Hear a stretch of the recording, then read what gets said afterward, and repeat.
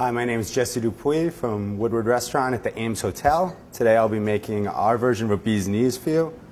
Ours is a little different than the classic. Uh, classic's only three ingredients. It's Plymouth, lemon, and honey simple syrup, equal parts honey and hot water. We've changed ours up by doing a thyme version. So instead of the honey, we're using a thyme simple. Um, just make a straight simple, equal parts honey and water.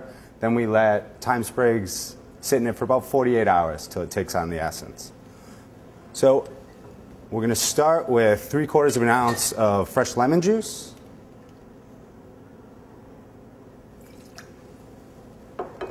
You do three quarters of an ounce of our thyme simple.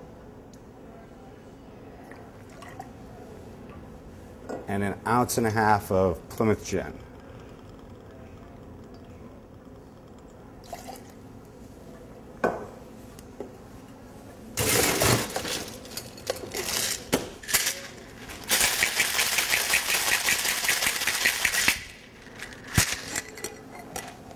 We serve ours on the rocks, which is a little different than the traditional, normally served up.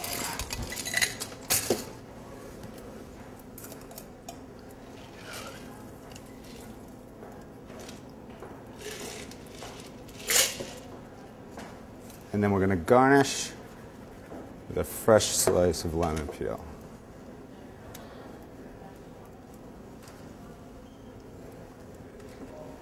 Our thyme bee's knees. Little bit of a take on a classic.